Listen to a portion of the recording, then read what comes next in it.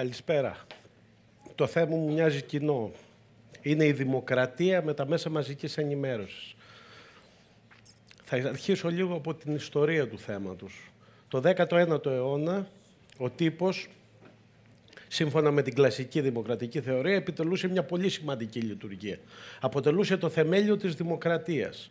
Οι βασικές λειτουργίες του, του τύπου το 19ο αιώνα ήταν να ασκεί έλεγχο στην εξουσία, να κινητοποιεί την κοινή γνώμη, να προσπαθεί να βοηθάει τον πολίτη με πληροφορίες και γνώσεις προκειμένου ο ίδιος να διατυπώνει μία άποψη συμμετέχοντας στην πολιτική διαδικασία. Τουλάχιστον από τότε που καθιερώθηκε το καθολικό δικαίωμα της ψήφου. Αυτή λοιπόν η κλασική λειτουργία του τύπου ήταν μία έκφραση των κοινωνικών συμφερόντων απέναντι στην εξουσία. Γι' αυτό και ο τύπος θεωρήθηκε τέταρτη εξουσία. Γιατί μπορούσε να ελέγχει τις κρατικές λειτουργίες και με, με τον έλεγχο αυτό να δίνει δύναμη στην κοινωνία. Αυτή η λειτουργία του τύπου συνεχίστηκε μέχρι περίπου το Δεύτερο Παγκόσμιο Πόλεμο. Μετά το Δεύτερο Παγκόσμιο Πόλεμο, σταδιακά και με τις αλλαγές στη λειτουργία των, της οικονομίας, ο τύπος άρχισε να αποκτά άλλα χαρακτηριστικά. Διότι η ανταλλαγή των πληροφοριών θεωρήθηκε ότι αποτελεί σημαντικό παράγοντα στην οικονομική λειτουργία. Περάσαμε στις κοινωνίες και στις οικονομίες της γνώσης. Ήταν πολύ σημαντική η ανταλλαγή πληροφοριών για την ανάπτυξη μιας οικονομίας των υπηρεσιών. Και αυτό συνέβαλε σημαντικά στη μεταβολή της λειτουργίας του τύπου. Ο τύπος έκφραση πολιτικών ιδεολογιών, έκφραση πολιτικών απόψεων, εκπροσώπηση κοινωνικών συμφερόντων μετατράπηκε σε ένα τύπο επιχείρηση. Και παράλληλα οι πληροφορίες που κάποτε ήταν πολύ ακριβές και σπάνιες, τώρα κυκλοφορούν σαν τον αέρα γύρω μας. Είναι φτηνές, είναι εύκολα προσβάσιμες, βρίσκονται παντού. Τι άλλο λοιπόν θα περίμενε κανείς μιλώντας για δημοκρατία; Υλοποιήθηκε αυτό το ιδεώδες, το δημοκρατικό που περιμέναμε από το 19ο αιώνα. Δηλαδή τι, ότι αυτές οι πολλές πληροφορίες που κυκλοφορούν γύρω μας, αυτές οι πληροφορίες που μας εξοπλίζουν με τόσες γνώσεις, υλοποιούν το ιδεώδες του δημοκρατικό, δηλαδή πλήρη διαφάνεια στη λειτουργία της δημοκρατίας. Είναι όμως έτσι. Μάλλον δεν είναι έτσι ή δεν είναι ακριβώς έτσι. Γιατί; Γιατί η επικοινωνία πλέον αντικατέστησε την πρόοδο. Θεωρούμε πλέον ότι είμαστε υποχρεωμένοι να επικοινωνούμε συνεχώς. Να επικοινωνούμε ακόμα και αν δεν θέλουμε να ανταλλάξουμε μηνύματα. Θεωρούμε ότι αν δεν επικοινωνούμε δεν υπάρχουμε. Αυτό ευνοήθηκε από τις μεγάλες τεχνολογικές αλλαγές τα κινητά τηλέφωνα, η φορητότητα, η κινητικότητα υλοποιούνται μέσα από λειτουργίες που γίνονται όλες μέσα από ένα κινητό τηλέφωνο. Αυτή η πολύ σημαντική μεταβολή μετέτρεψε την επικοινωνία σε μια νέα ιδεολογία. Η, η επικοινωνία αντικατέστησε την πρόοδο ως ένα από τα βασικά ιδεώδη της κοινωνίας, ως ένα κοινωνικό στόχο. Η επικοινωνία έγινε μια αυταξία μέσω της οποίας επιτυγχάνονται πολλές λειτουργίες. Και η πρώτη και η πιο βασική είναι να ενισχύεται η κοινωνική συνοχή και να επιτυγχάνεται η ειρήνευση μεταξύ των ανθρώπων. Η επικοινωνία με αυτά λοιπόν τα χαρακτηριστικά που αποτελεί το μεγάλο, το κεντρικό σύμβολο των κοινωνιών του 21ου αιώνα δεν διεξάγεται με τους όρους που διεξαγόταν παλιότερα. Γιατί; Γιατί έχουν συμβεί πολύ σημαντικές αλλαγές στο πεδίο της οικονομίας. Και ποιες είναι αυτές; Εδώ οι τεχνολογικές αλλαγές στο πεδίο των μέσων μαζικής ενημέρωσης είναι πολύ σημαντικές για να καταλάβουμε τις, τις αλλαγές που έχουν συντελεστεί όχι μόνο στον τρόπο που αντιμετωπίζουμε την επικοινωνία αλλά και στα και στις αντιλήψεις μας για ένα σωρό φαινόμενα που συνδέονται με την επικοινωνία. Παλιότερα, αυτό που λέγαμε πολιτισμός, αυτό που λέγαμε ενημέρωση, αυτό που λέγαμε ψυχαγωγία ήταν διακεκριμένα πεδία και παρέχονταν από διαφορετικές, από διαφορετικούς φορείς. Σήμερα τα τρία αυτά πεδία ενοποιούνται, απορροφούνται από την επικοινωνία. Τι σημαίνει αυτό; σημαίνει ότι και ποιος, το, και ποιος συνετέλεσε στο να συμβεί αυτό; Η μαγική λέξη εδώ είναι η λέξη ψηφιοποίηση. Η ψηφιοποίηση είναι η μεγάλη τεχνολογική επανάσταση της εποχής. Γιατί; Γιατί μπορεί να συμπυκνωθούν δεδομένα που συνδέονται με την εικόνα, με τον ήχο, με το λόγο, να συμπυκνωθούν σε τέτοιο βαθμό και να μεταφερθούν χωρίς να υπάρχουν χωρικοί και χρονικοί περιορισμοί παντού. Η ψηφιοποίηση λοιπόν, η οποία ενοποίησε τα τρία αυτά πεδία σε ενιαίες τεχνολογικές πλατφόρμες, κατέστησε δυνατή μια αλλαγή στον τρόπο με τον οποίο επικοινωνούμε και αντιλαμβανόμαστε την πραγματικότητα. Αυτό που παλιότερα αποτελούσε τη μαζική κουλτούρα, ταινίες, μουσικές, τηλεοπτικά και ψυχαγωγικά προγράμματα, την επικοινωνία με την έννοια της διαφήμισης προϊόντων και υπηρεσιών, με την έννοια δηλαδή του μάρκετινγκ και της ενημέρωσης, ό,τι αποτελεί το δημοσιογραφικό σύμπαν, τα τρία αυτά πεδία ενοποιούνται σε ενιαίες τεχνολογικές φόρμες. Και συμβαίνει και κάτι άλλο. Η ενοποίηση αυτή δεν είναι μόνο τεχνολογική, είναι ενοποίηση εταιρική. Παρέχονται και από εταιρείες οι οποίες συγκλίνουν και συγκλίνουν με πολλές μορφές. Επειδή ακριβώς όλες αυτές οι, οι εφαρμογές εξυπηρετούν κοινούς σκοπούς, οι εταιρείες αυτές, οι πολύ μεγάλες εταιρείες ενοποιούνται καθώς η μία, οι μεγάλες εξαγοράζουν τις μικρότερες. Αυτό το βλέπουμε και στο πεδίο του διαδικτύου. Τόσο η Google όσο και η Facebook, οι δύο κυρίαρχες εταιρείες στο διαδίκτυο, κάθε νέα τεχνολογική εφαρμογή που προκύπτει στην αγορά την εξαγοράζουν και, τις, και αφομοιώνουν όλες αυτές τις επιμέρους τεχνολογικές εφαρμογές. Με άλλα λόγια, ψηφιοποίηση χρησιμοποιεί τη δίωδο του διαδικτύου. Και έτσι έχουμε τεράστιες επιχειρήσεις οι οποίες επιτυγχάνουν αποτελέσματα στο πεδίο της επικοινωνίας κυριαρχικά. Τι εννοώ με αυτό; Εννοώ ότι ενώ παλιότερα όπως σας είπα, ο τύπος ήταν μια τέταρτη εξουσία, ήταν μια εξουσία ελέγχου της πραγματικής εξουσίας της πολιτικής. Σήμερα οι εταιρείες αυτές έχουν τόσο μεγάλη δύναμη που μπορούν να επιβάλλουν τα συμφέροντά τους πάνω στα συμφέροντα της πολιτικής. Επικυριαρχούν επί της πολιτικής και όχι το αντίστροφο.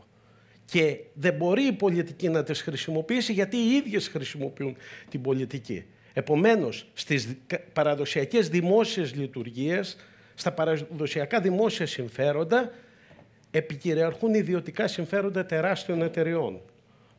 Τώρα, αυτές οι πλανητικές επιχειρήσεις με αυτά τα χαρακτηριστικά που έχουν αυτή τη μεγάλη δυνατότητα, αντιλαμβάνεστε ότι συγκρούονται με τις εθνικές νομοθεσίες οι οποίες επιβάλλουν κανόνες στην κατανομή των επιχειρήσεων στη στο ιδιοκτησιακό καθεστώς των μέσων μαζικής ενημέρωσης και επίσης προσπαθούν οι επιχειρήσεις αυτές να διατηρήσουν την μονοπωλιακή, τη δεσπόζουσα θέση που έχουν στην αγορά. Γιατί; Γιατί δεν είναι δυνατόν να τηρηθούν κανόνες ανταγωνισμού όταν οι επιχειρήσεις έχουν πάρει τέτοια τεράστια διάδοση τέτοια τεράστια έκταση. Αυτό το βλέπουμε στη σύγκρουση που είχε η Google με την Ευρωπαϊκή Ένωση και παλιότερα η Microsoft. Αυτό είναι μία εξέλιξη πάρα πολύ σημαντική, γνωστή, η οποία θέτει από μόνη της ένα ζήτημα δημοκρατίας.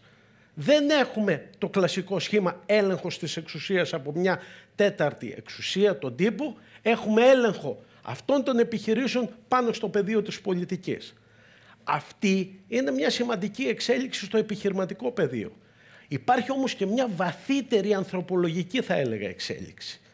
Ποια είναι αυτή; Είναι εκείνη η εξέλιξη που συνδέεται με την κυριαρχία της τηλεόρασης και κυρίως με την κυριαρχία της εικόνας στο πεδίο της τηλεόρασης. Τι εννοώ με αυτό; Η τηλεόραση ηγεμονεύεις και στο τεχνολογικό και στο οικονομικό σύμπαν. Ακόμα και το διαδίκτυο το χρησιμοποιούμε πολλές φορές για να δούμε προγράμματα της τηλεόρασης. Ηγεμονεύει δηλαδή τι, η εικόνα. Όταν λέμε ότι ηγεμονεύει η εικόνα, τι εννοούμε; Εννοούμε μια θεμελιώδη ανθρωπολογική τολμώ να πω μεταβολή. Διότι παλιότερα ο Homo sapiens ήταν ένας ανθρωπολογικός τύπος που συνδεόταν με τον γραπτό λόγο. Ήταν προϊόν του γραπτού λόγου. Ο Homo videns, Ο σημερινός άνθρωπος είναι ένας ανθρωπολογικός τύπος όπου η εικόνα κυριαρχεί πάνω στη λέξη. Τι συνέπειες έχει αυτό; Πώς μπορούμε να το αντιληφθούμε; Πάρτε για παράδειγμα τις βασικές κεντρικές έννοιες των νεωτερικών κοινωνιών. Δημοκρατία, κυριαρχία, εξουσία, δίκαιο. Τι ήταν αυτές οι έννοιες; Ήταν έννοιες τις οποίες προσπαθούσαμε, αφηρημένες έννοιες, τις οποίες προσπαθούσαμε να αντιληφθούμε μέσα από ενιολογήσεις. Μέσα δηλαδή από μια προσπάθεια να συλλάβουμε το αόρατο. Να κατανοήσουμε κάτι που δεν μπορεί να έχει αντιστοίχηση σε εικόνα. Δεν έχει δηλαδή ένα οπτικό ισοδύναμο. Είναι μια αφηρημένη έννοια. Πώς μπορεί να παρασταθεί η κυριαρχία; Πώς μπορεί να παρασταθεί με εικόνα η εξουσία, η δημοκρατία; Κι όμως κατανοούσαμε αυτές τις έννοιες μέσω, μέσω μιας διαδικασίας αφαίρεσης. Συλλέγαμε τις εμπειρίες μας και οδηγούσαμε στη γενική έννοια. Σήμερα συμβαίνει το αντίστροφο. Ενώ τότε προσπαθούσαμε να κατανοήσουμε κάτι που είναι αόρατο, σήμερα κυριαρχούμαστε τόσο πολύ από εικόνες, σήμερα οι εικόνες της τηλεόρασης ε, ε, ε, αποκτούν τέτοια τεράστια δύναμη και τέτοια τεράστια επιρροή ώστε έχουμε την ψευδέστηση, μας καλλιεργούν την ψευδέστηση ότι αντιλαμβανόμαστε κάτι μόνο και μόνο επειδή το βλέπουμε. Και αυτή είναι μια ψευδέστηση γιατί. Γιατί η τεράστια εναλλαγή, η ταχύτατη εναλλαγή των εικόνων μας δημιουργεί μία αδυναμία, μία σύγχυση, μία αδυναμία να στοχαστούμε πάνω στις εικόνες. Να κατανοήσουμε δηλαδή ποιο είναι το σημείο της σκηνοθεσίας, ποιο είναι το σημείο του μοντάζ, ποιο είναι το σημείο της επιλογής εκείνου του τμήματος της εικόνας την οποία κάνει ένα συγκεκριμένο πρόσωπο για να μας δημιουργήσει την αντίστοιχη εντύπωση, διότι εδώ αντιλαμβάνεστε ότι χρησιμοποιούνται εκλεπτισμένες τεχνικές του μάρκετινγκ. Γιατί, διότι με τις τεχνικές αυτές επιδιώκεται μια, η πρόκληση συγκινησιακών ερεθισμών που είτε παρουσιάζεται ένα πολιτικό περιεχόμενο, είτε πουλιέται ένα προϊόν, η αντίδραση είναι ίδια γιατί οι εικόνες αυτές αφορούν το υποσυνείδητό μας. Προσπαθούν να μας προκαλέσουν αντανακλαστικές αντιδράσεις. Παράδειγμα, πότε αρχίσαν όλα τα μέσα να ασχολούνται με το προσφυγικό, όταν ο μικρός Αιλάν, ο μικρός αυτός νεκρός Σύριος βρέθηκε σε μια ακτή. Τότε όλοι αρχίσαν να συγκινούνται. Γιατί, γιατί χρησιμοποιήθηκε μια εικόνα με ένα συγκεκριμένο τρόπο. Οι χιλιάδες αφανείς που χαθήκαν στις θάλασσες δεν θα προκαλούσαν αυτό το αποτέλεσμα. Αυτό το βλέπουμε και, και τεκμηριώνεται και με στατιστικά στοιχεία. Ένας νέος 20 χρονών έχει πίσω του 10.000 ώρες βιντεοπαιχνίδια, 200.000 ηλεκτρονικά μηνύματα, 15.000 ώρες τηλεθέασης και μόνο 5.000 διάβασμα. Δηλαδή έντυπο λόγο. Άρα η εικόνα κυριαρχεί. Τώρα, στο πολιτικό πεδίο αυτή η κυριαρχία της εικόνας τη βλέπουμε στην καθημερινότητά μας και εμφανίζεται με τα εξής χαρακτηριστικά. Πρώτον, κατασκευάζονται πολιτικά γεγονότα όταν αυτά παρουσιάζονται με τη μορφή εικόνων. Κυριαρχεί η έννοια της εικόνας είδηση. Εάν κάτι δεν μπορεί να παρασταθεί ως εικόνα, δεν υφίσταται κάτι που δεν οπτικοποιείται δεν υφίσταται ως πολιτική πραγματικότητα. Επομένως έχουμε μια οπτικοποίηση της πολιτικής πραγματικότητας. Ένα δεύτερο χαρακτηριστικό. Κατασκευάζεται την πραγματικότητα, οπτικοποιεί την πραγματικότητα και το τρίτον προσωποποιείται και η πολιτική διαμάχη. Αντιλαμβανόμαστε τη σύγκρουση μεταξύ πολιτικών ιδεών ως σύγκρουση προσώπων. Ο Αλέξης, η Φόφη, ο Βαγγέλας, ο Θανάσης, τι είναι αυτό; Είναι ένας μηχανισμός όπου βλέπουμε τα πρόσωπα και προσπαθούμε να φτάσουμε σε πολιτικές ιδέες. Αυτή λοιπόν η προσωποποίηση της πολιτικής διαδικασίας οδηγεί στη συνείδησή μας με την τεράστια αναλλαγή των εικόνων. Την αδυναμία μας να σκεφτούμε ότι, να σκεφτούμε τι, ότι παλιότερα η δημοκρατία ήταν ένα καθεστώς το οποίο είχε αναπτυχθεί σε ένα πεδίο όπου ανταλλάσσονταν ιδέες και επιχειρήματα και όχι εικόνες. Θα μου πει κανείς ότι είσαι μονομερής. Δεν μπορούμε να αποφύγουμε τις εικόνες. Γιατί οι εικόνες είναι, σαν το φυσικό, είναι φυσικό φαινόμενο, είναι σαν τη βροχή. Μπορείς μόνο να προφυλαχτείς από τη βροχή και το κρύο. Δεν μπορείς να την αποφύγεις. Θα μου απαντήσει κανείς ότι ναι, η τηλεόραση είναι ένα φυσικό φαινόμενο. Η εικόνα είναι κυρίαρχη. Ποιο είναι το πρόβλημά μας; Και σε πολλές περιπτώσεις έχει και μια θετική επιρροή. Γιατί. Διότι πολλοί άνθρωποι που είναι αποκλεισμένοι από άλλα πεδία ενημέρωσης έχουν μόνο την τηλεόραση. Γιατί αυτοί να αποκλειστούν; Επίσης τα σκάνδαλα αναδεικνύονται καλύτερα στην τηλεόραση. Και το ξέρουμε. Και αυτοί που κάνουν σκάνδαλα το γνωρίζουν αυτό και οφείλουν να προφυλάσσονται. Επίσης, παρόλο που κυριαρχεί η εικόνα, μέσω στο διαδίκτυο έχουμε και εναλλακτικές πηγές. Αν κάποιος ψάξει το πράγμα, μπορεί να, βρεθεί, μπορεί να βρει μια λύση. Όλα αυτά ναι υπάρχουν. Είναι ένας αντίλογος που λέει ότι η τηλεόραση υπό κάποιες συνθήκες και η εικόνα γενικότερα ευνοεί τη δημοκρατία. Ποιο είναι το πρόβλημά μας; Το πρόβλημά μας είναι ότι δεν έχουμε μάθει την αλφαβήτα των εικόνων. Δεν έχουμε καταλάβει ότι εδώ έχουμε να κάνουμε με ένα νέο φαινόμενο το οποίο δεν μπορούμε να το διαβάσουμε. Όπως, γιατί ο, η βασική εκπαίδευσή μας είναι μια εκπαίδευση του γραπτού λόγου. Και η πρόταση που θα μπορούσε να γίνει εδώ είναι η εξής. Στα σχολεία πρέπει να ενισχύεται η διδασκαλία των οπτικών τεχνών.